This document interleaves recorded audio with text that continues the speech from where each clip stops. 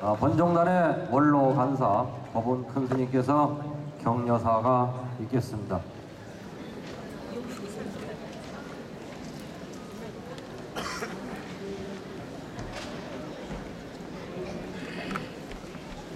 박수 한번 부탁드립니다.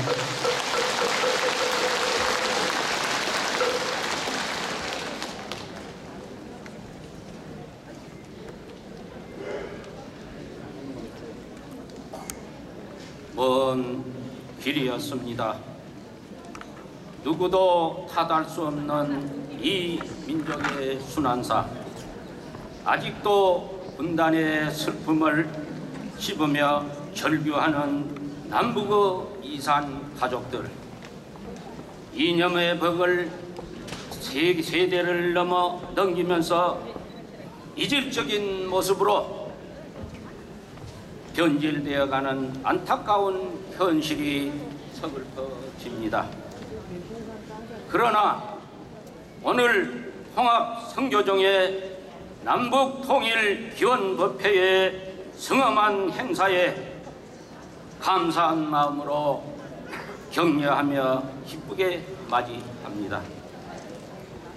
공사 담화신 중에 틈내어 이 법회에 동참해 주신 유결재 통일부 장관님, 형경대 민주통합통일자문위원회 수석부회장님, 유한식 세종특별자치시장님, 안정희 충청남도 도지사님,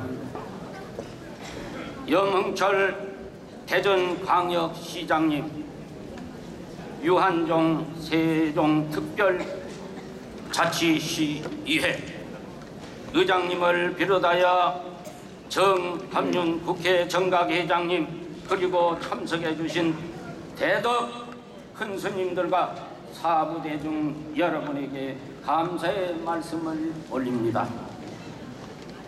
국권을 찬탈당한 36년의 암흑기 1945년 8월 15일 2차 대전의 정전으로 끝날 것이 아니라 동족 상쟁의 비극은 아직도 현재 진행으로 남북이 원수로 대결하고 있습니다.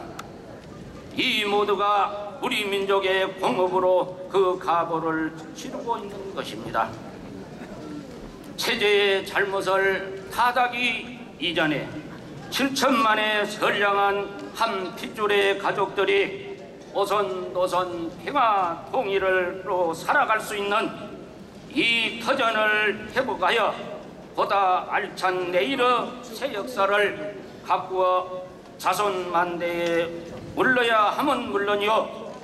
우리 세대에서 참회하고 화해해서 기필코 통일을 이루어 자손들에게 짐이 되지 않도록 하여야 하겠습니다. 남북 통일의 기원법회의 지극한 참뜻이 청정한 순정의 연파로 전달되어 남북의 7천만 가족의 가슴에 충만하여 대결의 마음이 완화되고 아기와 기와 기갈의 업장이 소멸되고 총칼 보탄의 무기가 용광로로 들어가서 농기구로 하는 데야 몰골 들들에서 풍령과 풍악이 울려 퍼지고 산업의 기가 소리 전국도에 정착되어 알라가고 향부간 웃음소리 영혼으로 충만하여 세계 경제를 이끌어가는 전 인류의 꽃으로 승화하는 이 국토 금수강산 이 기계의 영광으로 약속되는 오늘이 되어야 하겠습니다. 이분법적으로 대결하는 사고가 아니라 모두가 하나 아닌 하나로 융합되는 총화로 승화하는 기원의 힘이 남북 통일에 충만하여 우리 7천만 계리가 한 마음으로 두둥실 춤추는 경토의 나라가 될 수 있도록 불보살님이시여 오늘 이 기원의 공덕으로 남북 통일 성취 발언이 영광된 약속으로 승화할 수 있는 가피로 격려해 주셔서 모두 행복합시다. 대단히 감사합니다. 이어서 아, 축사가 있겠습니다. 축사는 세종특별자치시 불교사업연합회 회장 수환 큰스님께서 축사가 있겠습니다. 에, 큰 박수 부탁드리겠습니다.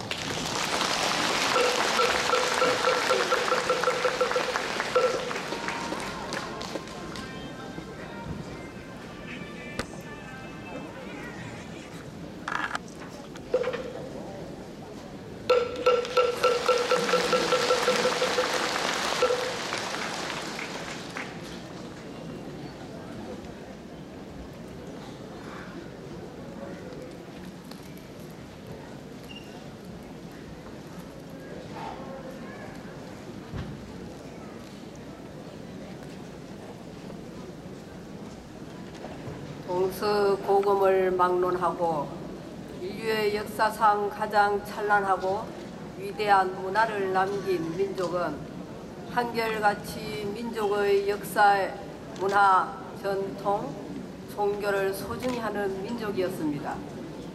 우리 민족은 반만년 역사 속에 수많은 외침과 내란을 겪으면서도 지탱해 왔으니 이는 곧 불교의 호국 정신, 후법 사상이 근간이 된 것입니다.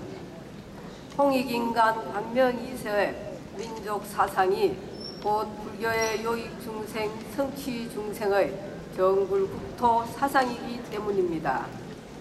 원광법사의 하랑오계가 통일 신라를 이루었고 팔만 대장경 조성으로 전쟁 아닌 정법 정신으로 몽고의 침략을 물리쳤고 조선조의 임진 정유회란을 서산 사명을 중심으로 팔도의 성군이 물리쳤으며 독립운동가 8.15 해방 또한 독립투사를 키운 백용성, 한용운 스님 등이 있었습니다.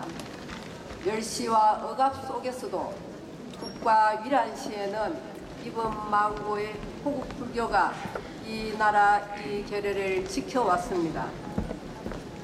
평화 통일과 인류 공동의 번영을 위해 불교가 앞장서야 합니다.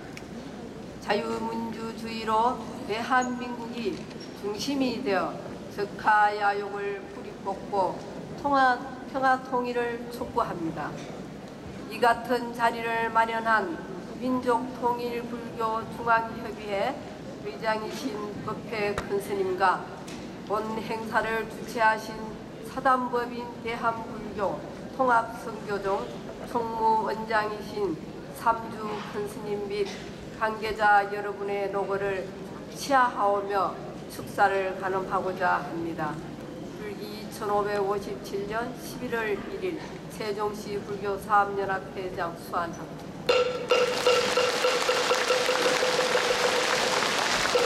에, 세종특별자치시의 세종특별사업 불교사업연합회 에, 회장 수환 스님의 축사가 있습니다. 이어서 어,